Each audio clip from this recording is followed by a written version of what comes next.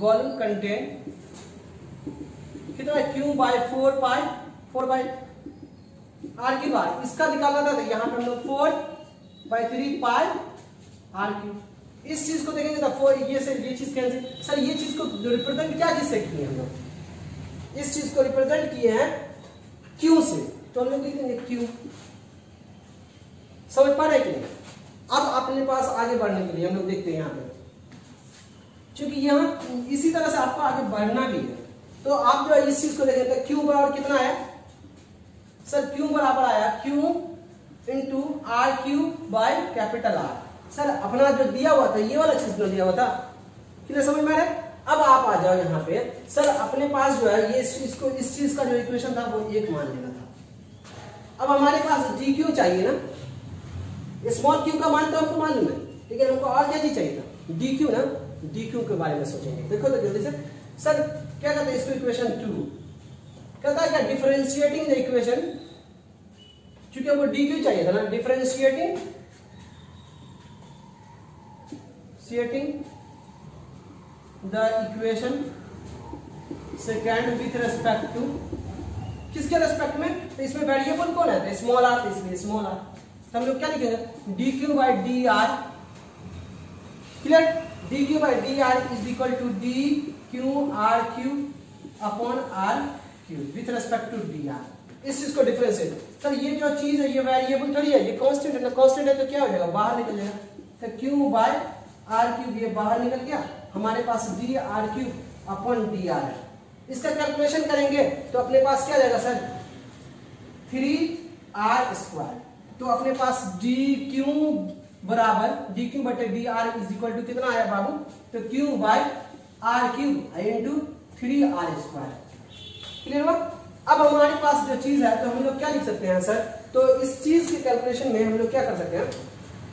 D Q का मान कितना निकाल के लिए आया? तो डी क्यू का मान Q by R Q into three R square into D R इसको आपको इक्वेशन थर्ड मान के आप सेव कर लो और इसी चीज़ को कहाँ पुट कर देना था? इक्वेशन किसमें?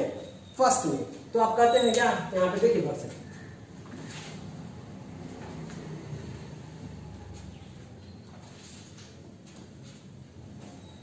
देखो यहाँ पे। तो कहता है putting the value of putting the value of Q and D Q in equation sir, कौन सा इक्वेशन में?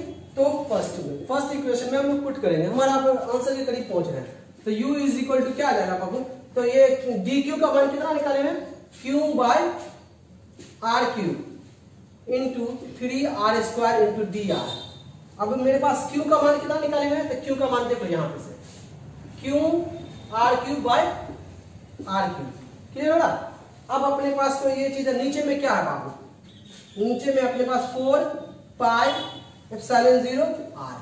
Clear हो रहा? है बिल्कुल आपको हो ही रहा होगा। अब यहाँ पे गौर से देखो। इसमें क्या होगा कि आप ये जो चीज़ है, ये वाला जो चीज़ है, इससे एक चीज़ आप कैंसिल आउट भी कर सकते हो तो कैंसिल आउट कर दो। अब क्या करते हैं? इस चीज़ में देखो तो क्या लिख सकते हैं? यू बराबर, आपके पास क्या क्यों क्यों दो बार है तो क्यों क्यों दो बार है। तो क्यू स्क्वायर इंटू थ्री है तो थ्री अपॉन क्या? Four pi, epsilon zero. कोई दिक्कत हो रहा अब आपके पास कितना? इधर से है तो ये आर का power four into D R नीचे में ये वाला जो चीज़ है वन बटे आर का power six three three six clear अब देखो, यहाँ पे ये चीज़ है। क्योंकि हम लोग का ये जो चीज़ था मेरा चेंज इन पोटेंशियल एनर्जी था ना? ये वाला जो चीज़ था चेंज इन पोटेंशियल मतलब डी क्यू डी यू ये वाला जो चीज़ था मेरा डी यू था ना चेंज इन पोटेंशियल एनर्जी अब गौर से देखो इस चीज़ को तो हमको ओवरऑल निकालने के लिए क्या करना पड़ेगा? इंटीग्रेशन करना होगा या नहीं करना? तो क्या लिख देंगे डायरेक्ट इंटीग्रेटिंग द एवं इक्वेशन एवं इक्वेशन को इंटीग्रेट कर दो।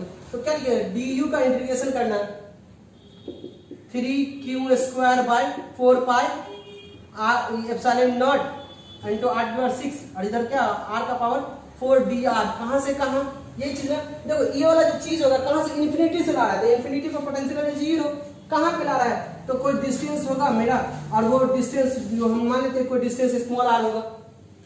अब करना क्या है? सर, इसमें आर कहाँ से कहाँ? देखो गौर से यही चीज़ करना था। पहले ये वाला चीज़ था कैपिटल आर ये वाला चीज़ हम लोग स्मॉल आर सर, ये स्मॉल आर कहाँ से कहाँ वैरी कर सकता है? तो स्मॉल आर जो है, यहाँ पे से खींच के ला रहे चाहे तो यहाँ पे ला सकते हैं चाहे तो फिर यहाँ तक ला सकते हैं। स्मॉल आर कहाँ से कहाँ वैरी कर सकता है? ज़ीरो से? कैपिटल आर क्लियर है बस खत्म। अब आपको ज़्यादा सोचना नहीं, बस इससे ज़्यादा आपको सोचना ही नहीं है। एग्ज़ाम में डिक्टो इससे रिलेटेड क्वेश्चन आ जाएगा तो ये जो चीज़ होगा कट के क्या जाएगा U R potential energy at some point is equal to three by Q square बटे four pi epsilon not R का पावर सिक्स अब इसका इंटीग्रेशन करेंगे तो आर का पावर फाइव बाई फाइव होगा या नहीं होगा? कहाँ से कहाँ खींचना है इसको? ज़ीरो से आर तक। सर इसमें अगर हम लोग करें तो यहाँ पे क्या लिखेंगे three by three Q by इतना by four pi four pi epsilon not into R cube आइए अगर आर का पावर सिक्स और इधर हम लोग बढ़ेंगे तो आर का power five minus zero clear होगा अब इसको गुना भाग कटेंगे तो क्या हो जाएगा? इसको जो है करेंगे तो ये ज़ीरो तो खत्म ही हो जाएगा तो इस चीज़ का कोई मीनिंग नहीं होगा। इतना ही हो जाएगा। और इससे ये चीज़ कैंसिल आउट हो जाएगा। तो अपने पास बचा क्या सर तो अपने पास यू आर जो होगा, वो क्या होगा? Three by three R cube R square upon क्या चीज़ है? तो सर इधर इसका नीचे वाला जो पाँच था, जो पाँच है पाँच से चार को गुना करेंगे तो कितना जाएगा? तो बीस